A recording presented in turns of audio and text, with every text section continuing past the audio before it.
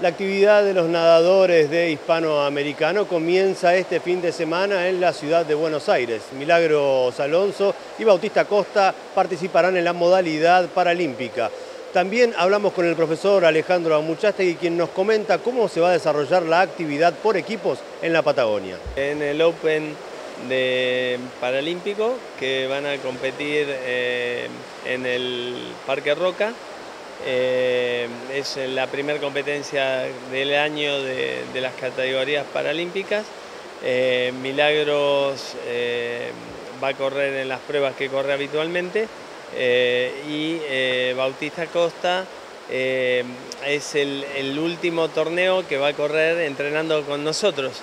a partir del año que viene va a, a, vivir en Buenos Aires porque va a ser su carrera de estudio allá y va a seguir entrenando en Buenos Aires y seguramente representando al hispano. Y en cuanto a lo que es eh, escuela en competición, ustedes van a empezar también con el equipo hispanoamericano en lo que es el Campeonato Regional Sur, ¿no? Sí, hay em, diferentes circuitos en estos momentos, eh, según las diferentes categorías que, o niveles de los nadadores.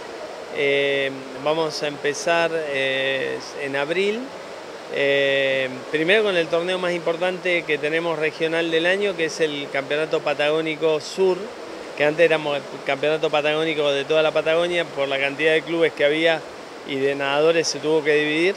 Entonces el, Campeonato Patagónico Sur, que participan Chubut, Tierra del Fuego y todos eh, los clubes de las provincias, de las regiones chilenas, de la Patagonia, de la Patagonia chilena y eh, que va a ser acá casualmente el 26, 27, 28 creo de mm, abril eh, acá en el Club Hispano. Vamos a ser eh, anfitriones.